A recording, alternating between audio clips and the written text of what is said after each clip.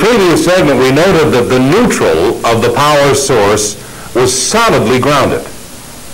This is necessary in order to provide a path for ground fault currents to flow. And it is this flow of fault current that enables relays to detect the existence of the ground fault. Actually, not all systems are solidly grounded. We shall be discussing this in a moment, but first, let's look a little closer at common utility practice in grounding. What is the nature of this ground? Well, all power system installations, such as power stations and substations, are built on ground grids. The grid consists of metal rods driven into the ground at various intervals, and this in turn is connected to a metallic mesh mat. As a result, all of this area is at the same ground potential. The main reason for this is safety. The external metallic frame of switchgear, transformers, substation structure, motors, relay panels, and so on are all solidly connected to the ground mat. You are well aware from your trips to substations that the grounding straps are always of considerable current carrying capacity to provide an easy path for flow of stray currents or fault currents to ground. The potential of all framework throughout the area is at the same ground potential, so providing safety for personnel working in and around the equipment.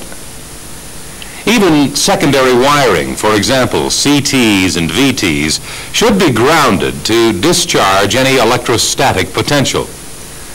However, it is very important to remember that these circuits should be grounded at one point only. For example, suppose a CT secondary circuit has a ground applied in the switch yard and another at the relay panel. In this situation, the secondary wiring provides a path in parallel with the ground mat. Now, if a ground fault occurs, heavy fault current could flow through the secondary wiring, thereby causing damage to the secondary wiring and also probable misoperation of relaying equipment.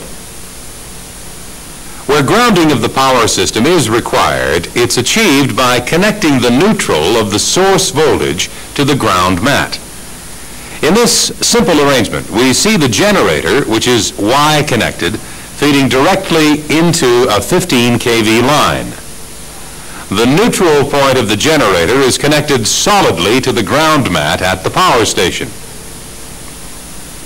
Now, if a single phase ground fault occurs on one of the lines, say due to a defective insulator, the fault current will run down the tower structure into the ground and return through the ground to the ground mat of the power station. From here, the fault current will flow back into the generator neutral, so providing a complete path for circulation. A CT is usually connected in the generator neutral with the secondary, feeding a time over current relay. This ground relay, 51G, will need to be coordinated with other protection devices on the generator and the line. Now, let's look at the more common case where we have a delta Y step-up transformer close to the generator. With the Y side ungrounded and a fault on the secondary, there is no path in the transformer high voltage winding for ground fault current to flow. Therefore, the fault would have no effect on generator or transmission line currents. With the Y side grounded, ground fault current would flow in the faulted phase of the Y winding and would be transformed into the delta winding as shown. Note that the phase to ground fault on the Y side manifests itself as a phase to phase fault from the delta side. Thus, generator phase A and phase B relays could detect the fault as could an overcurrent relay in the neutral of the transformer. An overcurrent relay in the neutral of the generator would protect against ground faults on the delta side of the transformer. Note that if the level of fault current is too low, this relay may not operate at all. But often another path is provided. For example, with high voltage transmission lines, the steel towers are connected together at the top by a bare ground wire or sky wire. This ground wire goes right back to the substation structure, which is, of course, grounded to the mat. Consequently, the ground wire provides a parallel path to current flow through the earth. Similarly, on four-wire distribution systems, the neutral fourth wire is usually grounded. And this, of course, provides an excellent path for ground fault current flow. I'm sure you may already be thinking, but where is the path for ground fault current to flow when the transformer secondary is delta connected? There is no neutral point for grounding. Well, in this case, a neutral point must be provided, and it is quite usual to connect a grounding transformer as shown here. The transformer works on a one-to-one -one ratio with the primary and secondaries connected together in a zigzag arrangement. Here we see the circuit diagram for this connection. You can see that the A primary winding is connected in series with B secondary and so on. This allows only ground fault current to pass through. Have pointed out that in utility practice, the equipment is usually solidly grounded at voltages above 40 kV. Now, at lower voltages, sometimes equipment is grounded through an impedance to limit fault current. An example is the generator neutral. The impedance may be in the form of a resistance or a reactor, or perhaps a grounding transformer. The main objective of this is to limit the available fault current. This method is used on systems up to about 30 kV and where the protected area is quite small. For example, in the case of the generator, we are protecting against a ground fault within the generator itself or the short length of line, cable, or bus to the transformer. To give you an idea of the order of magnitude, the grounding impedance may be sized to limit the magnitude of ground fault current to, say, 20 amps. This is far less than would be the case with a solidly grounded neutral, where the fault current could be in the order of, say, 4,000 amps. But what is the advantage of impedance grounding? Well, by reducing the magnitude of fault current, we are reducing the amount of damage that it can do. For example, suppose the ground fault is in the generator winding itself. The very high fault current and resultant arc jumping from the winding to the stator laminations would probably burn and seriously damage the generator. We'll be discussing specific examples of impedance grounding in future tapes, but one point is very clear. When working on the power system, you must be alert for these various methods of grounding. Always check the schematic diagrams. The value of grounding resistance or impedance is usually indicated. There is yet one other system that we must mention, and this is where there is no grounding at all applied. Take the case of this three-phase distribution line being fed from an ungrounded Y-connected secondary. The line voltage is 23 kV, that is 13.3 kV line to neutral. So the insulators and the spacing of the conductors will be designed for, say, 15 kV.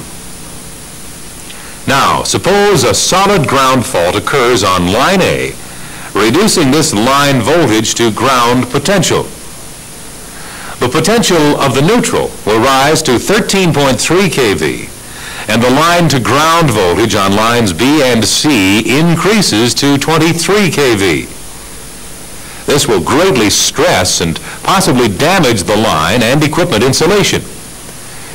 In fact, where ungrounded systems are used, it is normal to increase the level of insulation to withstand at least line-to-line -line voltage. But why would anybody want to run their system ungrounded? Well, one reason could be to ensure continuity of supply. For example, an industrial installation which must have minimum outage. In this case, if a ground does occur on one part of the system, no tripping will occur and power supply will continue. The three phases will continue to feed the load and retain the normal phase relationships. However, this method presents several possible hazards. First, at the fault location, we have a live conductor coming into contact with ground, which may be accessible to personnel. Moreover, there may be an arc present, which if not interrupted will cause serious damage by burning. Another problem becomes evident if a second ground occurs at another point in the system, say on another phase. In this case, we have effectively a short circuit between the two phases, and this could cause a serious upset to the system. For all of these reasons that we have just explained, ungrounded systems are rarely used. However, there are sometimes areas of a distribution system operating at, say, 13.8 kV connected in delta, and therefore have no accessible neutral point. In this case, ground detection equipment is usually installed as shown here. This is, in essence, a Y-delta transformer. The Y-connected primary provides a neutral for the delta system, and this is solidly grounded. The delta secondaries of the transformer are connected in series. This is called a broken delta. One side is grounded like this, and the other feeds a ground over voltage relay. If no fault exists, there is negligible voltage across the relay because the balanced voltages produced in the secondaries cancel each other out. Now, in the case of a ground fault on one of the lines, the voltage to ground on that phase is reduced. This reduces the voltage across the primary of that phase. This will cause a reduction of voltage in the associated secondary. Hence, a residual voltage will appear across the ground over voltage relay to cause operation. Additionally, indicating lamps can be placed across each secondary, thereby giving indication of which particular phase is grounded. Now at this point, let's briefly summarize the methods of grounding which you will encounter. Solid grounding. This is the case with most utility systems above 40 kV. Generators may be grounded through an impedance so as to limit the magnitude of fault current. Non-grounded systems are sometimes used in industry or a continuous power supply is required.